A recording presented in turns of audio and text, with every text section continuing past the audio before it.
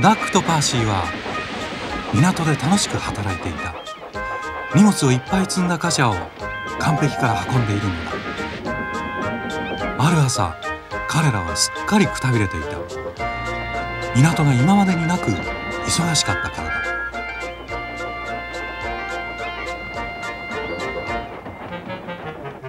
うん機関車をもう一台増やした方が良さそうだな。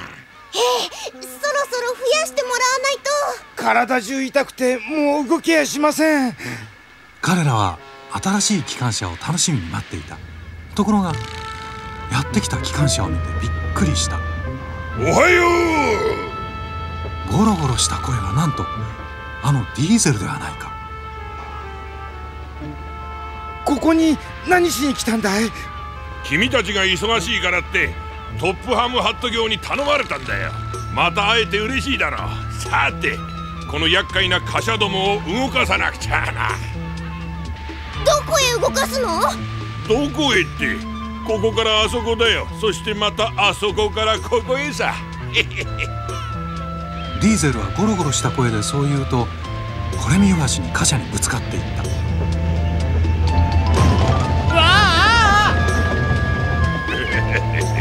ディーゼルがうなるとパーシーとダックは震え上がった。2人はディーゼルのことを信用していなかった。そして機関庫から出て仕事をするのをやめてしまった。トップハムハット卿がお茶の時間を楽しんでいるところに電話が鳴った。何？港で問題が起こっているのか？よしすぐに行く。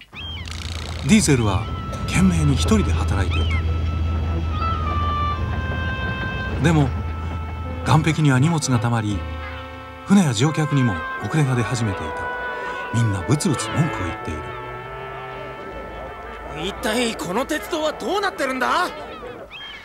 トップハムハット卿が機関庫に行ってみるとパーシーとダックが膨れ面をしている。一体どうしたんだ？二人とも。僕たち働けません。悪いんですけどディーゼルと働くのはごめんです。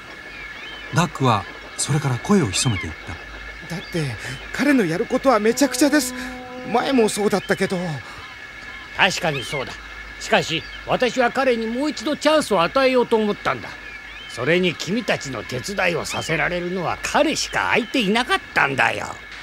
パーシーとダックはしぶしぶ仕事に戻った。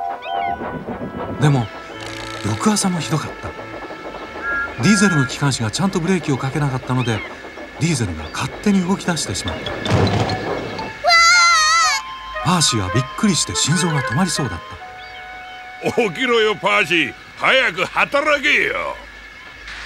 パーシーに謝りもせずディーゼルは笑っていた。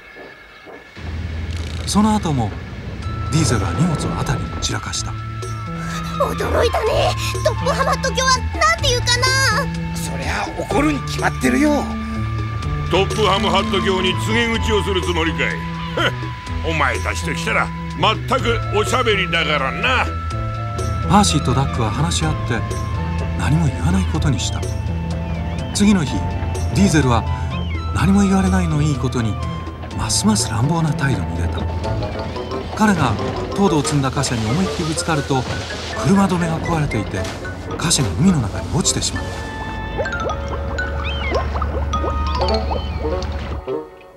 そのことはすぐにトップハムハット卿の耳に入った。